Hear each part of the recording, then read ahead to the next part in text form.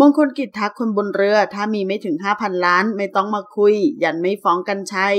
วันที่ 28 พฤษภาคม ที่คริสตจักรเมทอดิส รังสิตคลองสีปทุมธานี หลังเสร็จสิ้นพิธีเก็บอัดแตงโม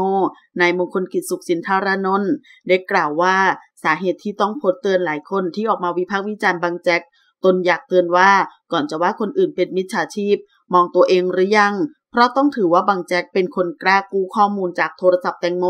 แต่ตนจำเป็นต้องออกมาพูด เพราะต้องปกป้อง เนื่องจากบางแจ็คเป็นผู้ตรวจสอบวัตถุพยาน เนื่องจากก่อนหน้านี้ไม่มีใครกล้ากู้ข้อมูลให้แม่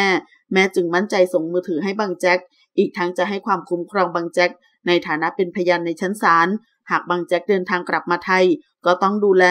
รวมถึงประกันตัวในคดีที่บางแจ็คแจ้งความดำเนินคดี จนกว่าจะพ้นการเป็นพยานในชั้นศาลของคดีแตงโมนายมงคลกิจกล่าวว่าสิ่งที่ตนโพสในวันนี้ เป็นลักษณะเหมือนโพสเตือน หวังว่าพฤติกรรมของทนายความบางคน ที่ออกมาให้ข่าวเกี่ยวกับคดีของแตงโม หากยังทำพฤติกรรมดังกล่าวอยู่ ก็จะไม่ปล่อยผ่าน ส่วนสาเหตุที่ลบโพสไป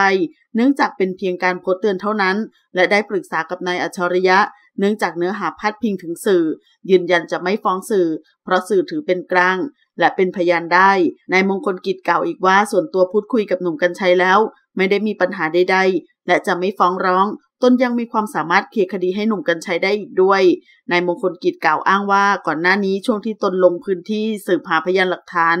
ในคดีแตงโม โดยนายมงคลกิจอ้างว่ามีคนสนิทคนหนึ่งในแก๊งบนเรือ ติดต่อตนมา บอกจะนำเงินมาวางไว้ที่หน้าบ้าน 15 ล้านบาท ตนมองว่าน้อยเกินไป ถ้ามีไม่ถึง 5,000 ล้านบาทไม่ต้องมาคุยกัน ขอขอบคุณข้อมูลจากข่าวสดขอบคุณค่ะ